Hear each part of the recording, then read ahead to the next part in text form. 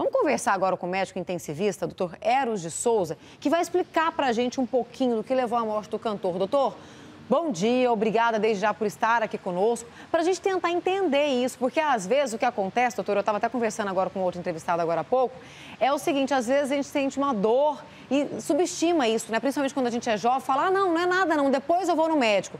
E aí, esse depois, principalmente quando você tem um histórico, que ele já tinha tido essa trombose, é perigoso, né? Bom dia, Manuela. Prazer estar falando com vocês. Sim, sem dúvida, é perigoso e a atenção para a saúde é muito importante, né? Procurar uma unidade básica ou um pronto-socorro, agendar uma consulta é muito importante para investigar esse tipo de dor.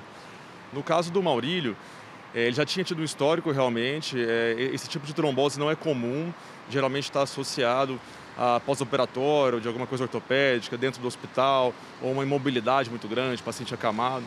Mas no, nos casos fora do hospital, geralmente é mais comum em quem tem, pode ter um tipo de trombofilia, alguma coisa nesse sentido, alguma doença hematológica em investigação. E aí uma pessoa como o Maurílio, por exemplo, que teve uma trombose, ela tem que investigar isso, ou pelo menos acompanhar isso a vida toda? Sim, sim. E existe tra tratamento, inclusive, a longo prazo, que o paciente toma anticoagulantes para evitar uma recorrência de uma trombose e suas possíveis complicações, que foi o caso dele. Agora, no caso do choque séptico, o que exatamente é isso, doutor? O choque séptico ele é uma, uma reação é, exagerada do próprio corpo diante de uma infecção. Então, o paciente, às vezes, ele tem uma pneumonia, por exemplo, em tratamento, o próprio sistema imunológico, na tentativa de curar aquela pneumonia, ela gera uma tempestade de, de atividade inflamatória, é, formação de coágulos dentro do corpo, enfim, um excesso de, de, atuação do sistema imunológico que vai causar lesões de alguns órgãos e sistemas, principalmente coração, é, pulmão, rins.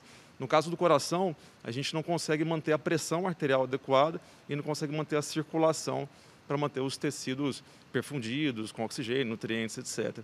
Então, é, precisa o... desse suporte todo da, da, UTI. O Maurílio, a gente sabe que ele foi atendido muito rapidamente no dia que ele passou mal, né? Em questão de três minutos, eles já, eles já tinham tirado ele do local e levado ele para um hospital aqui de Goiânia, que ele foi prontamente atendido.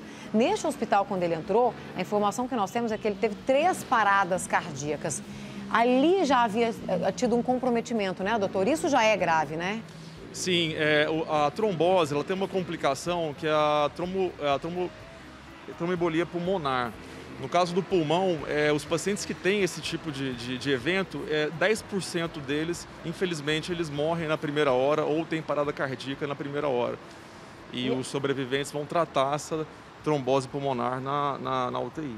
E aí, no caso, Maurício, claro que a gente não pode mais falar disso, né, do que seria, mas se ele sobrevivesse, ele teria sequelas provavelmente para a vida toda disso, né, doutor? Sim, não só da trombose, como da sepsis também. Os sobreviventes, eles têm aí uma longa recuperação, seis meses, um ano, e infelizmente também uma mortalidade é, depois disso.